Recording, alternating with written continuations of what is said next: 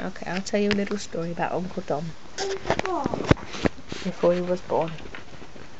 before we were one in the book. So, Annabelle. what? No, from Annabelle. Yeah. Well, before Annabelle was born, First was I born. yeah, Annabelle born. you were born first, and then Annabelle was born. But a long, long time before that, Granny and Papa and Mummy and Uncle Jonathan all lived in a house together. And it was before. No, not you. It was before Uncle Dom was born. And one Sunday afternoon, we all sat down to have our tea. But Granny felt a bit funny, so she sat on a chair in the living room, and we all had our normal tea.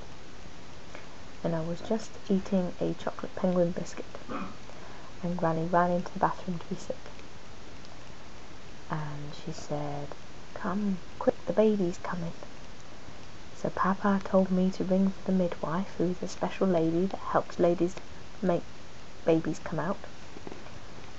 And I rang the midwife, and she wasn't there.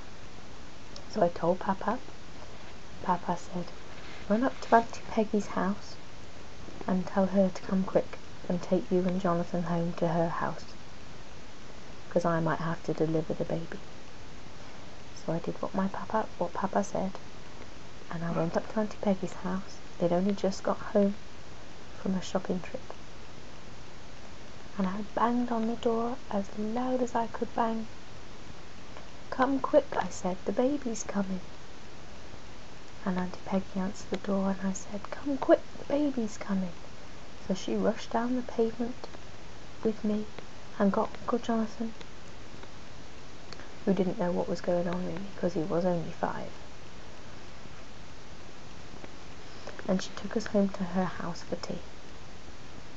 And in the meantime, Papa had to deliver Dominic, Uncle Dom, when he was born, because he came too quickly for anybody else and there wasn't time to get Granny to hospital. And shortly after Uncle Dom was born, outside there was an ambulance and two cars with midwives in and two cars with all the grandparents. And the road was full. And the first time I saw Uncle Dom, he was sitting on my grandma's knee. And he was very large baby, and she seemed to have trouble holding on to him at both ends. And he was the biggest baby we'd ever known at the time, but actually he was smaller than you were. And the first thing Uncle Dom said when he met you was, Oh, I thought she'd be bigger. Which is funny, isn't it? And the first time I met Uncle Dom, Uncle Jonathan wasn't with me because he wanted to stay at Auntie Peggy's house and carry on watching Super Gran on the television. I don't remember the first time Uncle Jonathan met Uncle Dom. It must have been soon after. And ever since he could speak, Uncle Dom's been saying, Wait for me, wait for me, wait for me. Until he was big. And now he's bigger than Mummy. And he used to like riding on his bike. And he would go out on his bike and he would come home all sweaty and nobody really knew how he managed it. And to this day I don't eat penguin biscuits because it reminds me of my mummy being sick.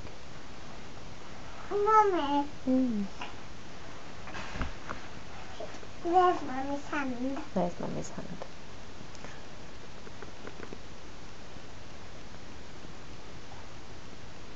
Uncle Dom used to go to my grand's house sometimes while Granny went to work. Not mm. my Granny. Yeah, your granny. And my, my gran. favourite Granny. Is she your favourite granny? Well, you have one gran and one granny, don't you? And my gran would play tricks on Uncle Dom with the biscuit tins. And she used to have three biscuit tins, and each tin had a different biscuit in it. And Uncle Dom used to like figgy rolls. So she would open the first biscuit tin and she would say, Would you like one of these? And he would look in the tin and he'd say, No. So she would open the next tin and say, Would you like one of these? And Dom would say, No. Because all the time he was thinking there might be figgy rolls in the next tin. And she would open, she'd put her hand on the next tin and say, Are you going to want one of these? And before even the lid was off, Uncle Dom used to say, Yes, please. Because he knew that's where the figgy rolls were, because they used to play this game every week.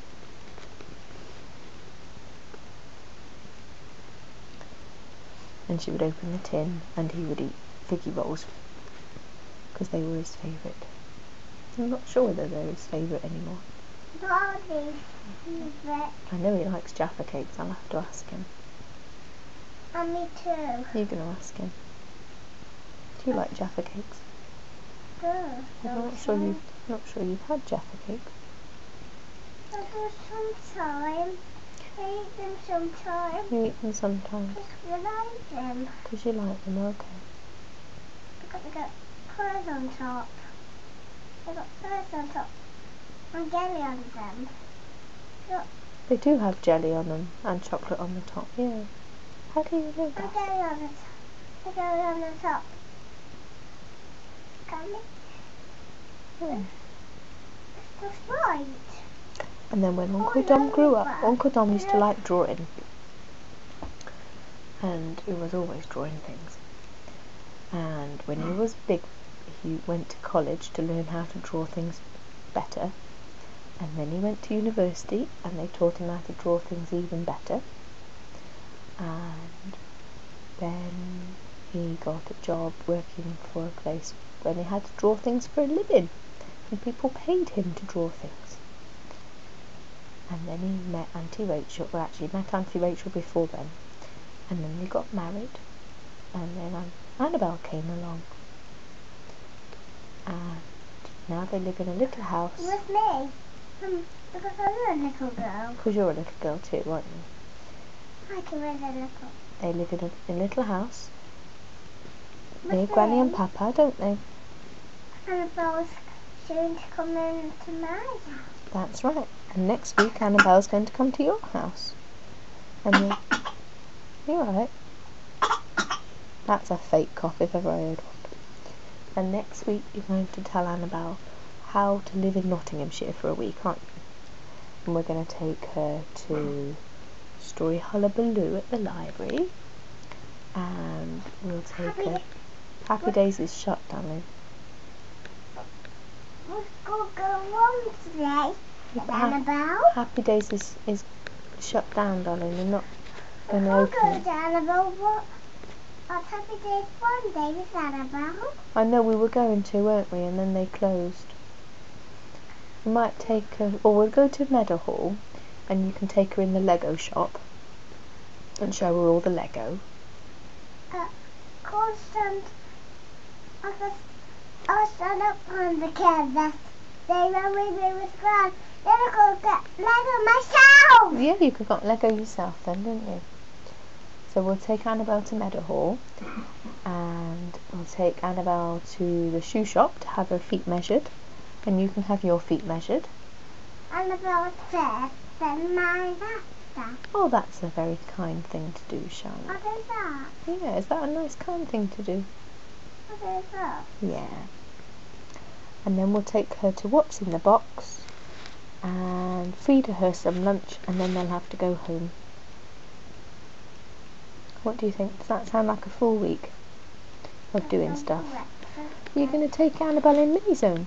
Do you think Annabelle would like Mini Zone? You quite like Mini Zone, don't you? And soft play.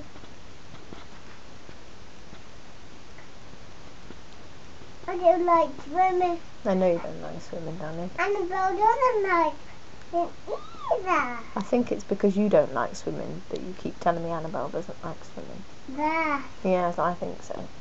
And my fa- my favorite uh, my favorite my my, my favorite uh, woman. You what? Swimming? My naughty Sarah at swimming. Naughty Sarah's at swimming. Yeah, Is that what you call the teacher? Naughty Sarah? yeah. Naughty Sarah's got a red t-shirt on. Go Yes.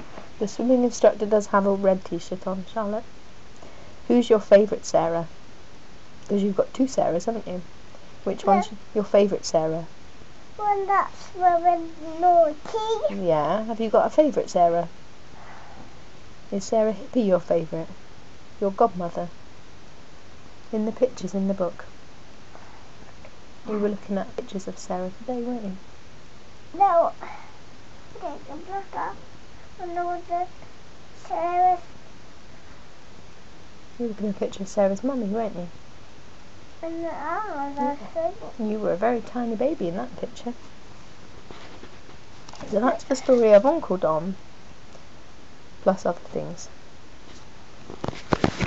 And now it's time to go to sleep. Oh, oh my god yeah, we'll do some jack as well.